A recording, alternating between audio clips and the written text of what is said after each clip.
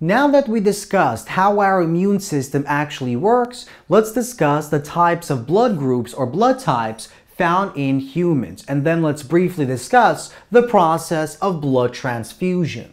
Now, humans contain four different types of blood groups. So we have blood type A, blood type B, blood type AB, or blood type O. Now, the first question is, what exactly determines the difference between these different blood types? And more specifically, what determines the blood type of any given individual? Because any given individual can only have one of these four different types of blood groups. Now, it turns out that on chromosome 9 of our karyotype, we basically have the allele, the gene that codes for a special protein membrane that is found on red blood cells. So each human inside our DNA, we have a gene that codes for this protein.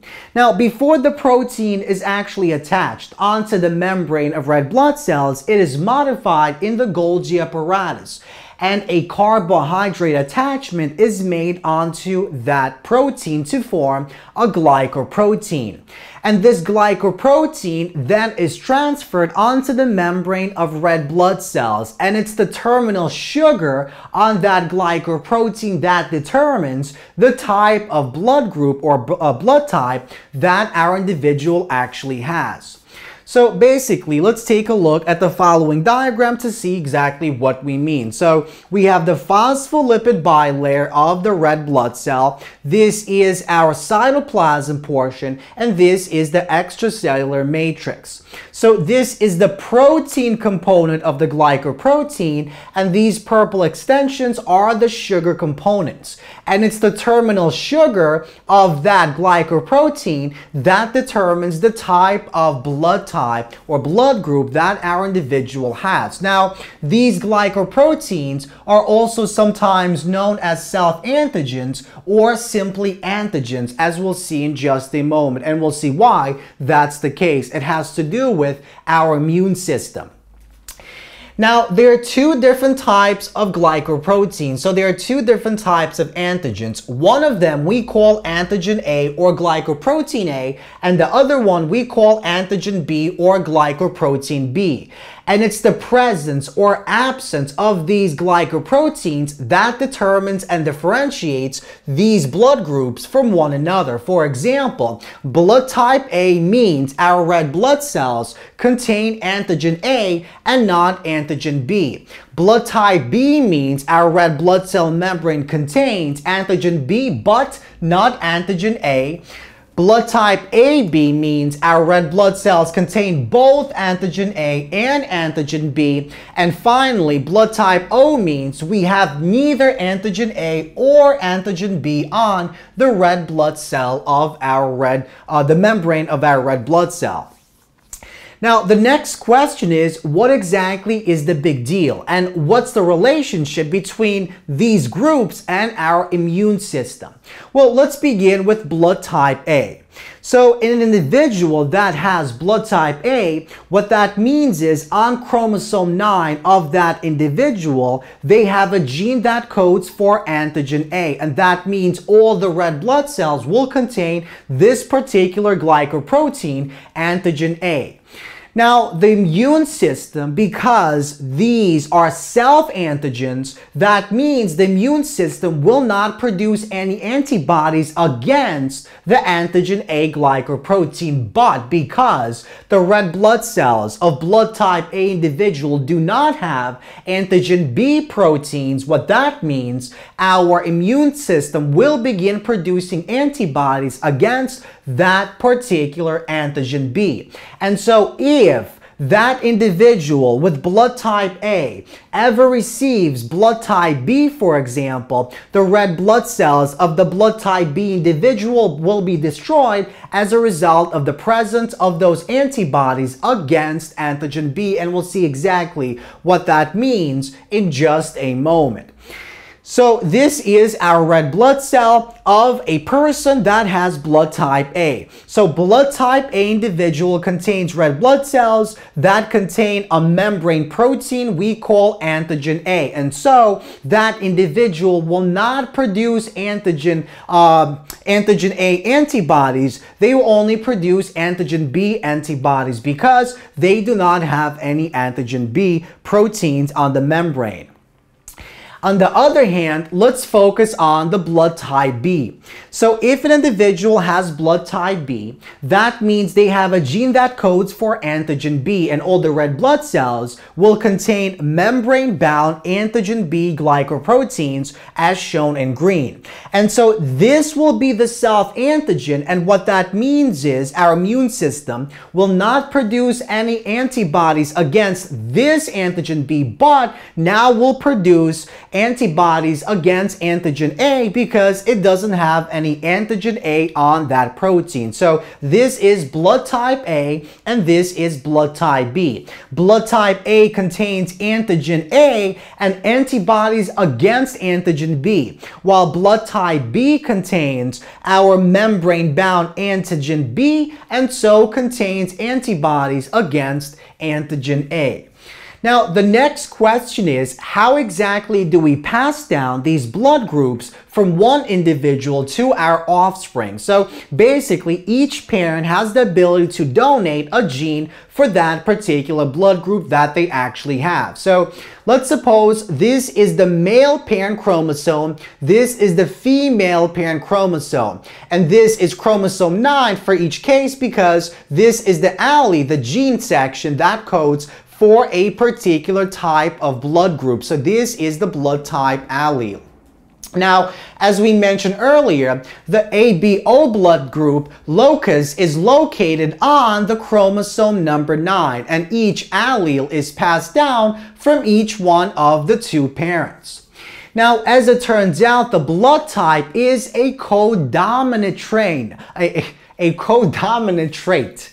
And what that basically means is if one parent gives an antigen A gene while the other parent gives an antigen B gene, they will both be expressed on that red blood cell's membrane. And what that means is if this is A and this is B. When they combine, they will form the AB blood type group. And what that means is the red blood cells will have both of these antigens attached onto the membrane of the red blood cell. And this is what we call blood type AB. And because in this individual, the red blood cell membrane contains both of these antigen types, our immune system will not produce antibodies antibodies against both of these types. And that's because the immune system will see antigen A and antigen B as self-antigen. So these individuals with blood type AB do not have antibodies for either antigen A or antigen B. Now, it is also possible that our individual doesn't have this gene on chromosome 9, and that means if it doesn't have that gene, it cannot actually express and produce any one of these antigens. And in such a case, if the male parent doesn't have that gene and the female parent doesn't have that gene and they essentially mate, they will produce an offspring, an individual in which we basically have neither antigen A nor antigen B on the membrane of that red blood cell. And in that case, our immune system will produce both antibodies against antigen A and against antigen B. And this is what we call a blood type O. So such an individual lacks both antigens and their red blood cells on their red blood cells. And so the immune system produces antibodies against antigen A as well as against antigen B. So now that we discussed the four different types of blood types, blood groups, let's discuss the process of blood transfusion. So it is actually possible to transfer blood from one individual to a different individual. However, one must keep in mind that certain blood types cannot be mixed. And that's because if they are mixed, they will agglutinate. And what that means is antibodies will combine with their complementary antigens and they will basically clump together and the blood will be rejected during that transfusion process.